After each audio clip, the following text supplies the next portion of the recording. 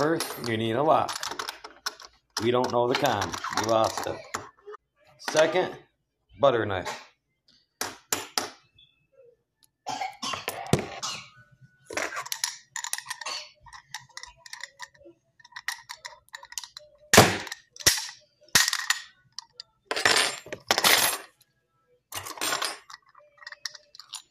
Open it with the butter knife. You lost your bike.